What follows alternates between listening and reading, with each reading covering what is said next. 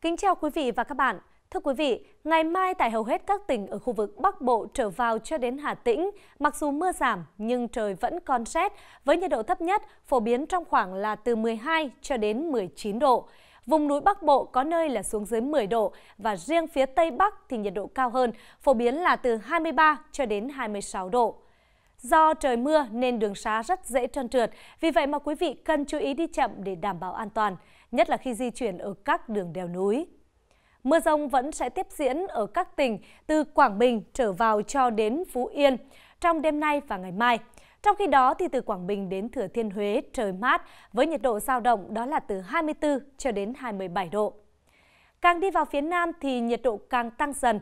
Từ Đà Nẵng trở vào đến Phú Yên có nắng đan xen nên nền nhiệt phổ biến là từ 28 cho đến 31 độ.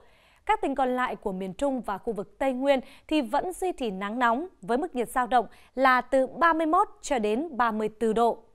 Nơi có chỉ số tia UV ở mức nguy cơ gây hại rất cao cho da và mắt là khu vực Nam Bộ. Nắng mạnh diễn ra cả ngày với nền nhiệt phổ biến đó là từ 32 cho đến 37 độ.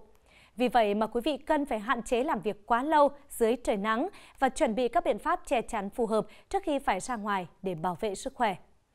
Trên biển trong ngày mai, ở khu vực Bắc Biển Đông, bao gồm cả vùng biển quần đảo Hoàng Sa, sẽ có gió Đông Bắc mạnh cấp 6, có lúc cấp 7, giật cấp 8, cấp 9, biển động mạnh. Ngoài ra, thì vùng biển phía Bắc của khu vực từ Quảng Trị đến Quảng Ngãi và vùng biển từ Ninh Thuận đến Cà Mau cũng sẽ có gió Đông Bắc mạnh cấp 5, có lúc cấp 6, giật cấp 7, biển động. Dự báo thời tiết các khu vực tỉnh Nghệ An đêm nay và ngày mai cụ thể như thế nào sẽ có trong phần tiếp theo của bản tin. Khu vực đồng bằng ven biển có mưa, mưa rào và rải rác có rông, gió đông bắc cấp 2, cấp 3, trời rét, nhiệt độ 18 đến 20 độ, độ ẩm 80 đến 90%.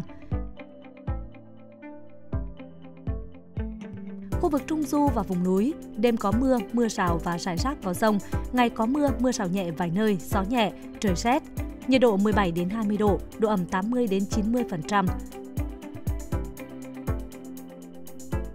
Khu vực thành phố Vinh có mưa mưa rào, gió đông bắc cấp 2 cấp 3 trời rét, nhiệt độ 18 đến 20 độ, độ ẩm 85 đến 90%. Khu vực Cửa Lò và Đảo Ngư có mưa mưa rào, gió đông bắc cấp 3 cấp 4 trời rét, nhiệt độ 18 đến 19 độ, độ ẩm 90 đến 95%. Thông tin thời tiết các khu vực trong cả nước sẽ kết thúc bản tin hôm nay. Cảm ơn các nhãn hàng TH True Bắc Á Banh và nước uống thiên nhiên Imizu đã đồng hành cùng chương trình. Kính chào và hẹn gặp lại quý vị trong các bản tin tiếp theo.